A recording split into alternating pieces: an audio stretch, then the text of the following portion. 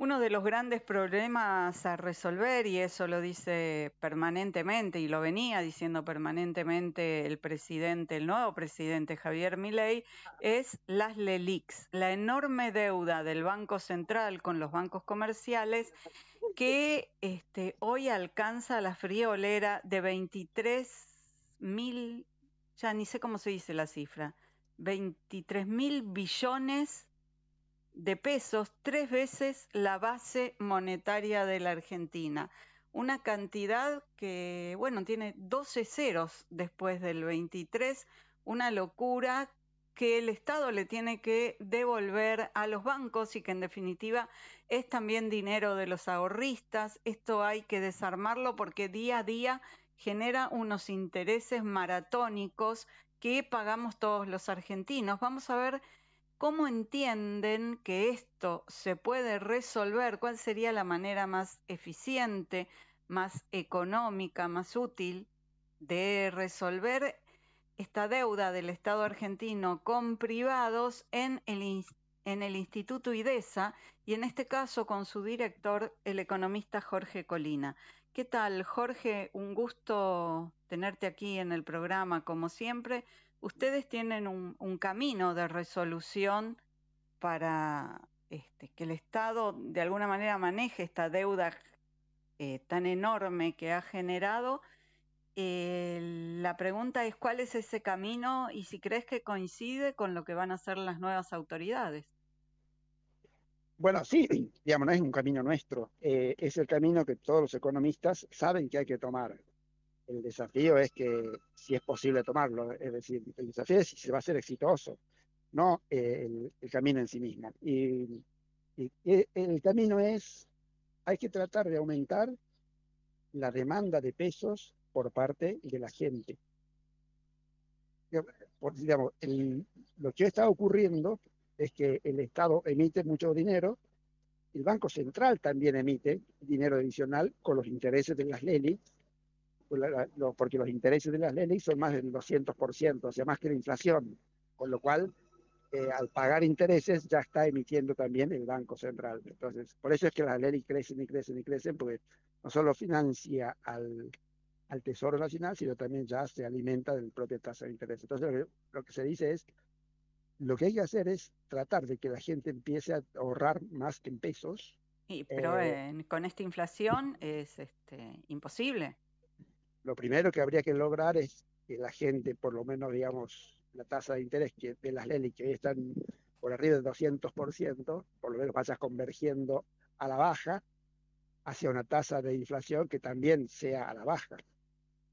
Entonces, y eso se, eso se lograría cambiando las expectativas de la gente a mediano plazo, donde cuando la gente dice, bueno, ahora ya se ordenó el Estado, el Estado ya va hacia un equilibrio, va a requerir menos emisión monetaria en el futuro y bueno, ahí ya la gente puede empezar a ahorrar más en pesos y eso es lo que ayudaría a absorber todas las leyes que se acumularon.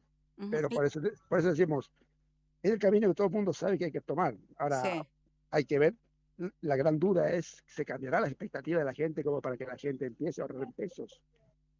Bueno, hoy parece difícil y más aún teniendo en cuenta que este, una de las promesas más importantes del presidente fue la dolarización.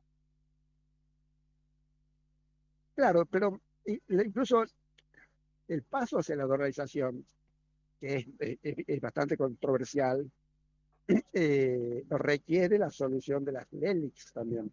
¿Es la condición previa para cualquier mejora de la situación económica del país?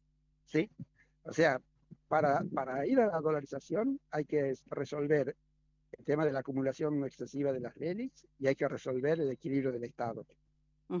Y entonces aparece una, una, gran paradoja, y es que si la Argentina resuelve las leyes y resuelve el desequilibrio fiscal, no necesitaría dolarizar, porque porque el peso pasaría a tener valor.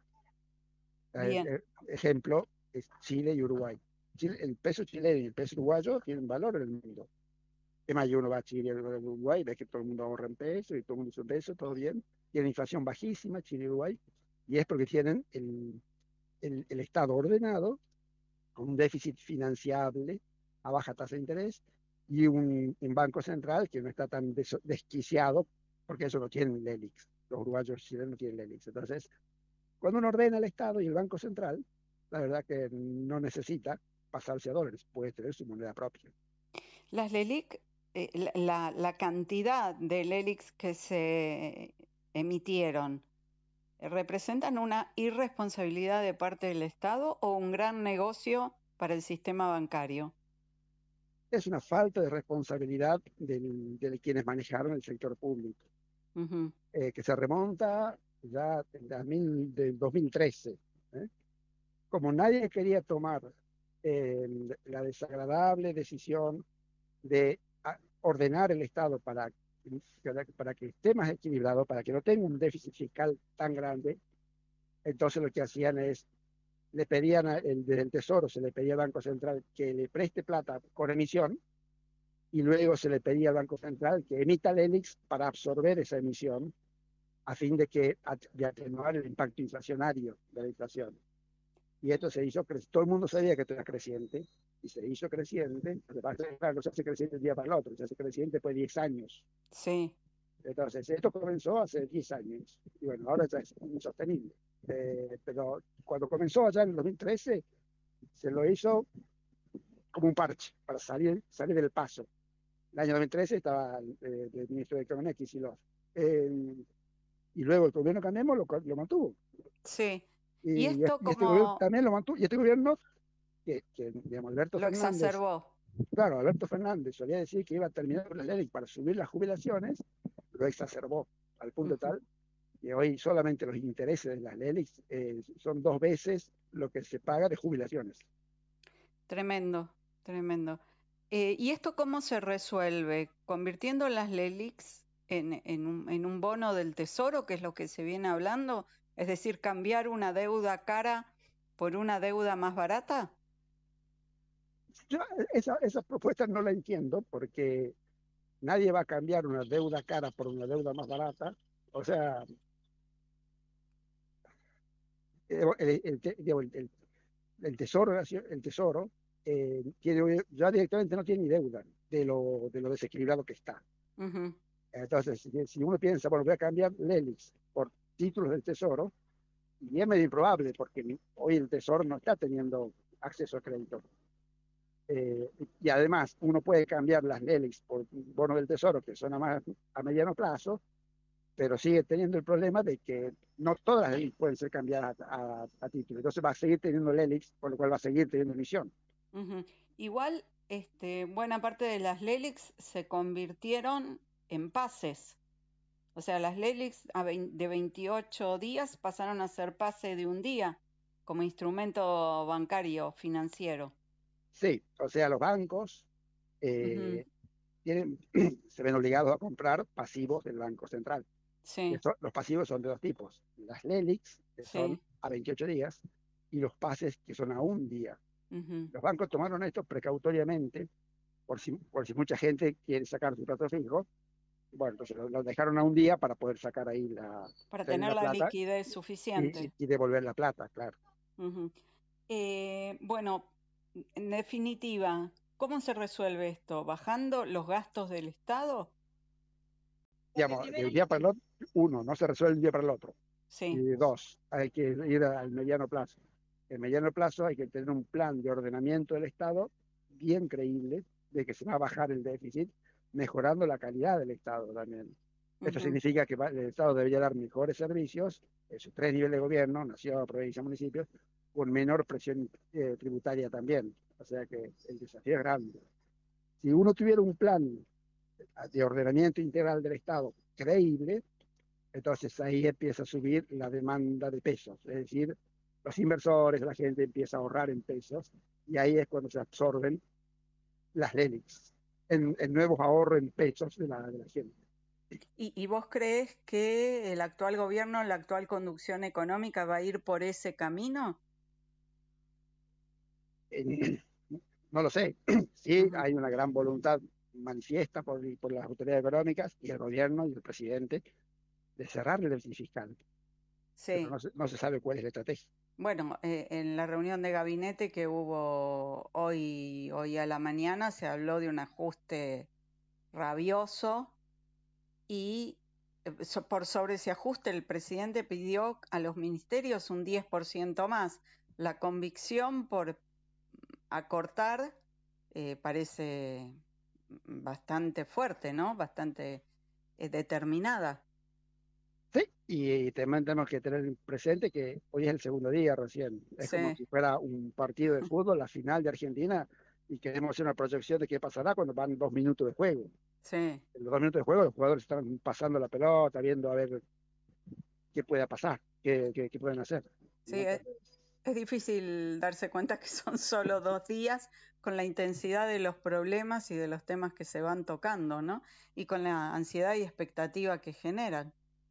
Exactamente, exactamente, igual que los, dos primeros minutos en un partido del Mundial de Fútbol, de la final, donde está todo tan tenso, que en dos minutos parece que pasó medio partido. Sí, sí, tal cual. ¿Y vos crees que el ajuste va a golpear muy especialmente a la clase media? digamos, eh, lo que no es el ajuste, lo que sucede es que hay mucha inflación reprimida en, subsidios y en precios controlados. El primer precio controlado es el dólar a 350. Ese dólar ya es irreal. Entonces, cuando lo lleven a un valor más alto, que no sé cuál será, yo creo que nadie sabe cuál será, eh, eso va a ajustar precios de los productos y los bienes. Y entonces eso va a hacer tener una inflación más alta. Lo mismo es que cuando en la, región metropolitana ajusten la luz, pero hablo de la región metropolitana porque somos los únicos que estamos subsidiados, en las provincias están pagando como corresponde. Sí. Eh, entonces acá en la ciudad de Buenos Aires vamos a sentir el, paso del tarifazo. y luego el transporte lo mismo, se está pagando montos ridículos en, en el tren y eso tiene que, tiene que sincerarse. Entonces ese sinceramiento es lo que el presidente dice, miren, los primeros seis meses seguro que van a ser peores, porque tenemos que, eh, digamos, sacar la inflación reprimida para comenzar a ordenar el, tema fiscal. Bueno, entonces a prepararnos para lo que venga.